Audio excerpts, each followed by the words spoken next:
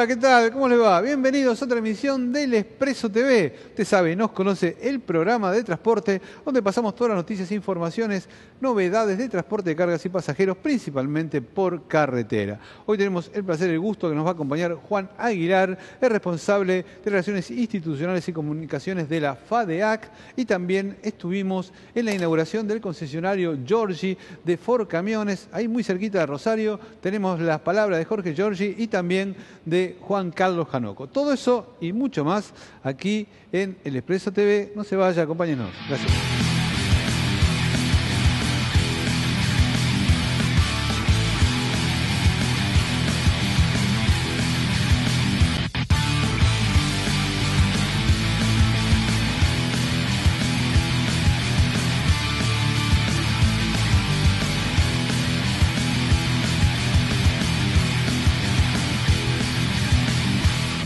Continuamos aquí en el Expreso TV, lo habíamos anunciado, nos acompaña, está con nosotros Juan Aguilar, él es responsable de Relaciones Institucionales y Comunicación de la FADEA. Juan, bienvenido nuevamente aquí en el Expreso TV. Muchas gracias, gracias por la invitación, como siempre, es un gusto. Es un gusto compartir con vos todo lo que tiene que ver con un sector que creo está preocupado en estos momentos sobre todo por los costos, ¿es así? Entre otras cuestiones, no, no, menos, eh, no menos importantes que como el tema de los costos, ¿no? Realmente es una muy mala noticia para, eh, digamos, toda la economía, no solo para nuestro sector, eh, que el índice de marzo arroje casi un 4% de incremento, casi un 9% el primer trimestre.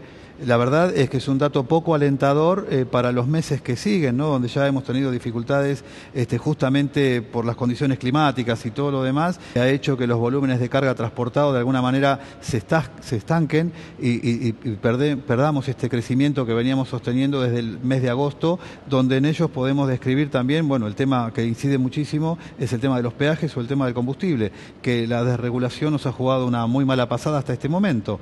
Además, tenemos el incremento posterior al cierre de marzo del 4%, que va a impactar negativamente en el mes de abril. Así que, eh, desgraciadamente, son muy malas noticias para, el país, eh, con un sector tan dinámico como el nuestro. No, es nuevo, estamos viendo estos camiones muy, muy buenos que han hecho para eh, tratar de explicar un poco cómo se compone el costo. Y Vamos a empezar por lo, por lo más importante que, uno lo puede ver. Eh, evidentemente el costo impositivo es, es el costo en estos momentos. Bueno, ese es uno de los puntos este, más importantes este, que tiene nuestro, de, alguna manera nuestra ponderación en cuanto al, a la tarifa de flete.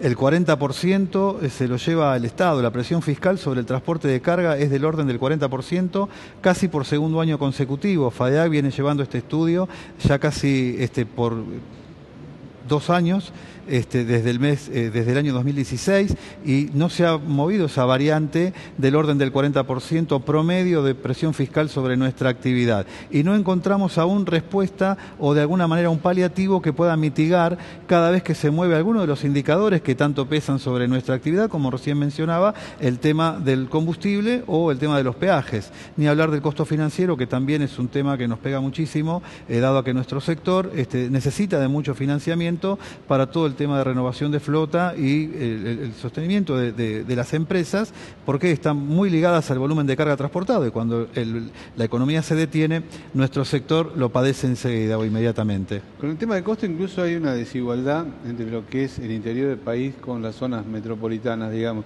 Cuando hablamos de ingresos brutos, cuando hablamos del costo de combustible, no es el mismo precio. Por supuesto. O sea, hay gente que incluso está sufriendo más cuanto más lejos está del... del claro, por supuesto, eso es una realidad. Eh, FADEAC, para, para la conformación de su costo, su índice de costo, toma el valor promedio de todo el país. Y la verdad que cuando hacemos comparativos este, de una región con otra, eh, eh, es muy injusto que alguien que, porque está alejado de un centro urbano o demás, pague un costo de combustible mucho más alto que el de, los, de las regiones urbanas. Así que eso también este, incide muchísimo en, las empresas que son familiares en su gran mayoría y que deben ver cómo día a día este, pueden afrontar esta, esta crisis que vive nuestro sector, porque nosotros todos los aumentos los pagamos a diario y nos sentamos con nuestros clientes a discutir tarifas cuando podemos, cuando tienen tiempo o cuando se dan las condiciones apropiadas para ello. Así que la verdad es que no la está pasando muy bien nuestro sector y realmente eh, estamos muy preocupados por ello y estamos tratando de buscar distintas alternativas que puedan de alguna manera mitigar este impacto que tiene en el costo o en el precio del flete para los, los usuarios o quienes deben adquirir nuestro, nuestro servicio. Imagino que una de las pocas alternativas que tiene a mano uno lo que puede hacer es empezar a parar camiones este, y, parar un poco la renovación. Este, me parece que está envejeciendo el parque, ¿es así? Bueno, eh, ahí eh, ese es un tema muy sensible. Nuestra federación este, es, muy responsable en cuanto a ello. Tenemos más de 205.000, 215.000 trabajadores dependientes de las empresas de transporte, por lo cual tenemos un rol social muy importante que cumplir. No obstante ello, eh, podrás ver que mes a mes capacitamos no menos de 20.000 trabajadores que pasan por nuestras aulas este, a capacitar y a perfeccionarse en cuanto a la responsabilidad que tienen ellos sobre eh, las máquinas que conducen. Ese es un tema muy importante desde lo social pero realmente lo que hemos preservado fue justamente en todo este tiempo, en estos últimos cuatro años, donde nuestro sector perdió volumen y rentabilidad, fueron los puestos de trabajo. No, ha sido un sector que ha despedido gente, ni mucho menos. Es cierto, sí, que en muchos sectores se ha detenido de algún modo el tema de la renovación del parque móvil, este, porque por un lado no acompañan las tasas que hoy paga nuestro sector, no hay un plan integral de renovación de flota. Hoy tenemos más de 100.000 o 120.000 camiones, podría decir con más de 30 años de antigüedad. Eso es muy grave para toda la sociedad, porque hay camiones este, que generan muchísima, muchísimo riesgo al circular por las velocidades que desarrollan, por la carga que transportan y demás, y esto sería muy beneficioso si un plan integral de renovación de flota se llevase a cabo y pudiésemos sacar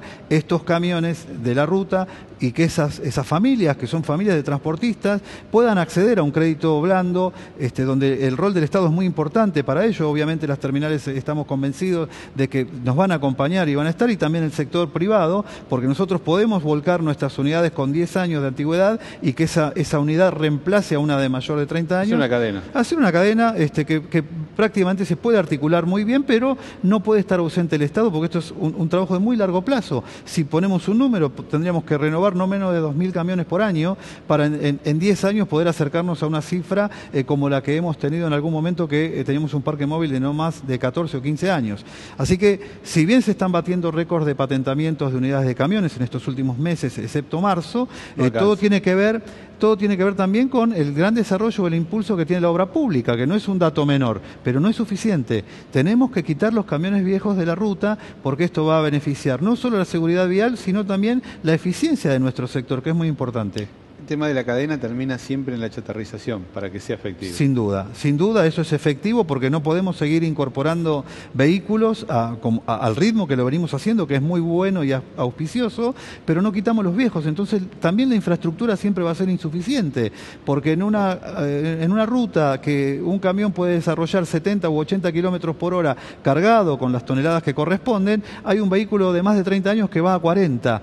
Y ahí es donde también se generan accidentes por alcance o por descuido o por lo que fuera. Entonces eso eh, realmente es muy malo para nuestro sector y eh, FADEAC viene trabajando desde hace muchísimos años con el gobierno anterior y con el gobierno actual en distintos proyectos o variables que puedan dar forma a un proyecto común y que lo podamos implementar sin que esto tenga un impacto social negativo a ver, es muy importante que las familias transportistas sigan desarrollando su actividad y que puedan evolucionar, que tengan un vehículo mucho, con mucho más confort y mucho más eficiente. Uno de los temas que, desarrollaron y que bueno se, cristalizó justamente en este sentido que hablar es el tema de modificar la capacidad de carga, con el tema de los bitrenes y distintas este, alternativas de, mayor capacidad de carga. Tal cual. Nosotros hemos comenzado un año este, con una noticia bastante auspiciosa que tiene que ver con la promulgación del decreto 32, que hoy se está modificando y se está viviendo en algunas leyes, pero que tiene que ver no solo con eh, la evolución de la carga eh, transportada por nuestros camiones, sino también con la desburocratización del Estado. Porque también hay que ver esto en cuanto a eficiencia. Cuando los camiones llegan a los puertos y están demorados cuatro o seis horas días ha, sucedido que eh, para descargar eh, la carga que transporta, eso es costo, es costo argentino, no es costo logístico. Eh, cada hora de un chofer o de un conductor arriba de un camión es, es una hora de trabajo que alguien está pagando, como lo paga con un administrativo o en una empresa de servicios financieros o lo que fuere. El conductor de camión es exactamente igual, tiene una jornada laboral que debe cumplir y esto es costo argentino y lo pagamos todos. Por eso es muy importante la infraestructura, el sistema de turnos, hay que reconocerlo, está funcionando muy bien en los puertos que se en el puerto de Rosario, también en Bahía Blanca, así que eso lo vemos muy auspicioso. En cuanto a la escalabilidad, como bien mencionabas, junto con el Bitren, el, el, gobierno ha impulsado estos trabajos que venimos desarrollando con FADEAC desde hace más de dos años. Hay este, muchos empresarios comprometidos en ello, aportando eh, todo su conocimiento y tiempo para poder de manera escalonada, de acuerdo a cada eh, modalidad de tráfico o necesidad del usuario, pueda escalar su vehículo actual a una capacidad superadora, eh, incrementando hasta un 30% más la carga transportada. Esto evidentemente con una muy baja inversión comparada con la del Bitren, que estamos hablando de vehículos de entre 6 y, 7 millones de pesos, ¿no? Estamos hablando de inversiones altísimas que va a costar muchísimo este, amortizarlas y que el sector no cuenta con la herramienta financiera para poder acceder. Entonces, a los efectos de que el impacto social dentro de nuestro sector sea menor, la escalabilidad creemos que es una muy buena herramienta para que todo el sector del transporte pueda crecer, pueda aumentar su carga en un 15, un 20% de acuerdo a la modalidad de transporte, si es un remolque o un acoplado, y lo pueda adecuar a estas nuevas, a estas nuevas normas que esperemos estén prontamente este, reguladas. Bueno, Juan, nos estamos quedando sin tiempo. Queda todo el año por delante casi. Y, este, y bueno, no empezamos también. Esperemos que de alguna manera se pueda revertir y se, se arregle esto, sobre todo en el, en el tema que me parece que el Estado puede hacer mucho que ese tema impositivo. Sí, nosotros, para nosotros es muy difícil poder gestionar este, en este contexto donde de los 11 rubros que mide FADEAC, cuatro que tienen que ver con lo público son los que han aumentado más en el año 2017, por ejemplo, luego del el cercenamiento de tarifas del año 2016. Entonces, cuando el Estado tiene mucho que ver también, es donde más necesitamos asistencia y compromiso, de alguna manera, este, este win-win que necesitamos para nuestro sector, eh, para poder estar todos alineados en tener un transporte mucho más eficiente y seguro. Te agradezco mucho y te felicito por intermedio por toda la labor que desarrolla la Federación. Muchas gracias Daniel, un saludo a toda la audiencia. Muchas gracias. Bueno, nosotros hacemos una pequeñísima pausa y volvemos con ustedes con más El Expreso TV.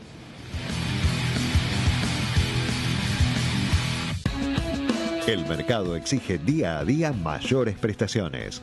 Por eso, desde Ford Camiones nos preparamos a diario para ofrecerte lo último en tecnología, seguridad y confort a través de nuestra nueva línea cargo. Camiones potentes y robustos que se adaptan a cada una de las necesidades, brindando un desempeño superior y permitiéndote siempre llegar más lejos. Nueva línea cargo.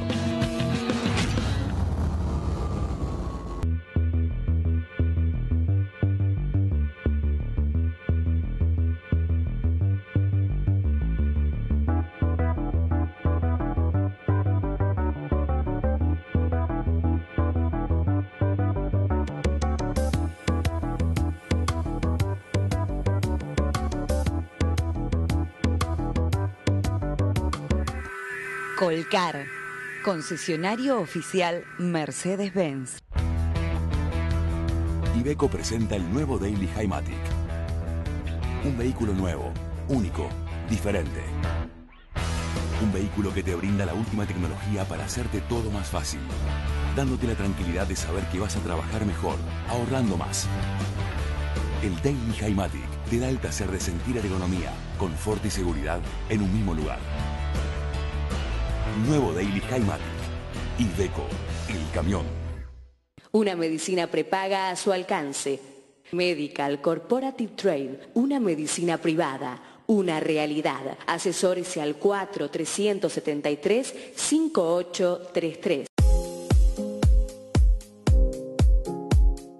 Ya salió el Expreso Magazine del Transporte, la revista periodística más importante del transporte de cargas. Solicita tu versión digital o impresa a elexpreso.elexpresotv.com. El Expreso Magazine, la revista VIP del transporte automotor de cargas.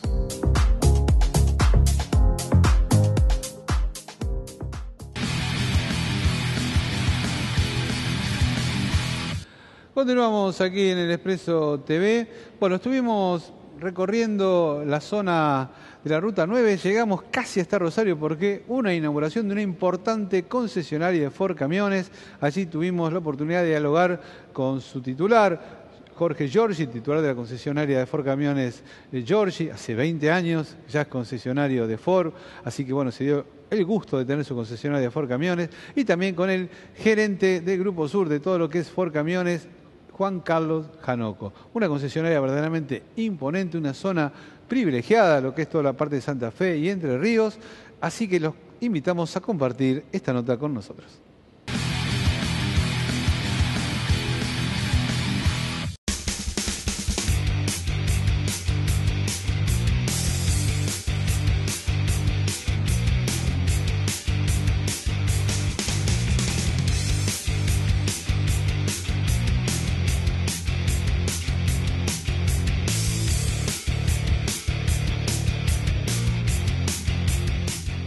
Soy Jorge Giorgi, eh, de Giorgi Automotores, presidente de Giorgi Automotores. Desde hace 40 años estoy en el rubro, desde hace 20 represento a Ford junto a un gran equipo, a Ford Automóviles y Pickups.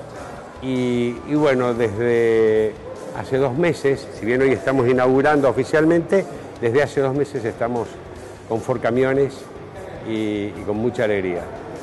Pues geográficamente eh, necesitábamos espacios no había dentro de la ciudad y consideramos que la ruta Rosario-Buenos Aires, a tan solo 5 kilómetros de Rosario, y como que acá confluyen las rutas que vienen de eh, sur de Santa Fe, desde Santa Fe, norte de Santa Fe, Entre Ríos, Córdoba, y, y, todo desemboca para ir a Buenos Aires, se consideró que esta era una buena dirección, además también por los accesos y que tienen, que, pueden llegar los camiones eh, con bastante comodidad.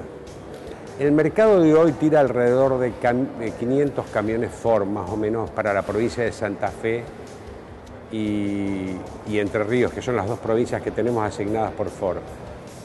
Pero nuestro propósito, por ser este nuestro primer año y no conocer el rubro como lo, que ya lo conocen, era estar alrededor de los 400 camiones este año.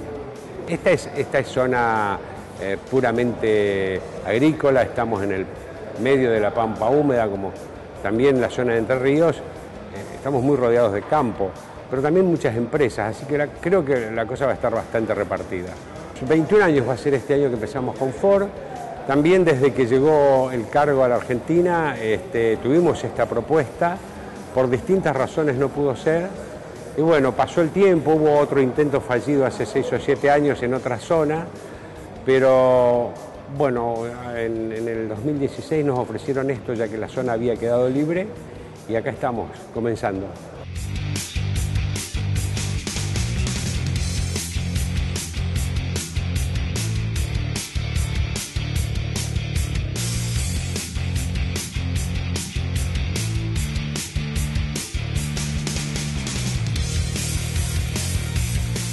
Realmente la importancia que tiene esta inauguración de Giorgi Camiones, concesionario exclusivo para las provincias de Santa Fe y Entre Ríos, adquiere una importancia que realmente se destaca en lo que a acontecimientos se refiere en este año 2018. ¿Por qué digo esto?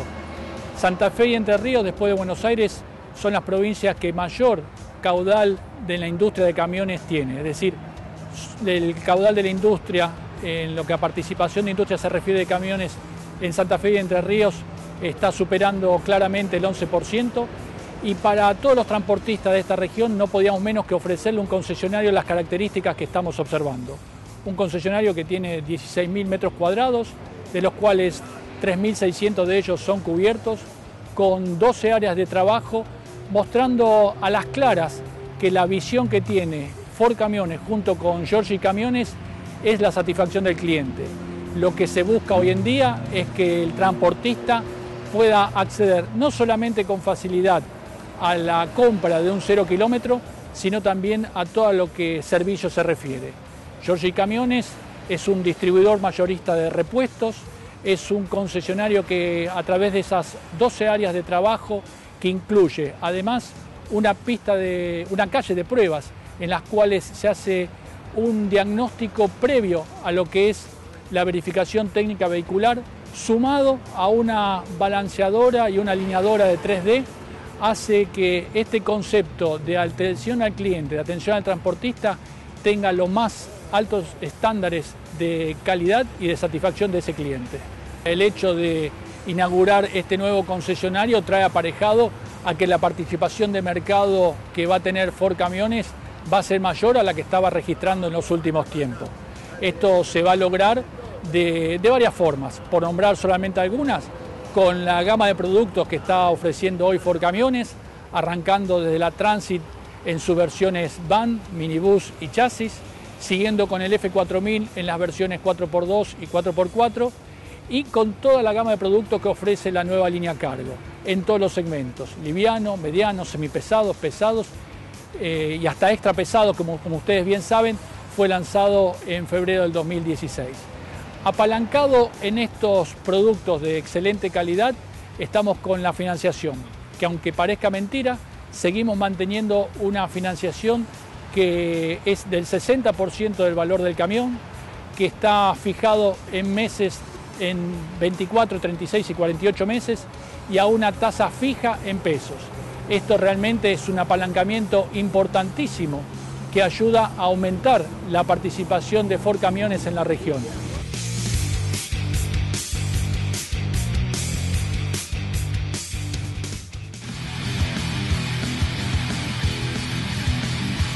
Llegó el momento de despedirnos. Tuvimos un programa a full sobre todo lo que es transporte de cargas.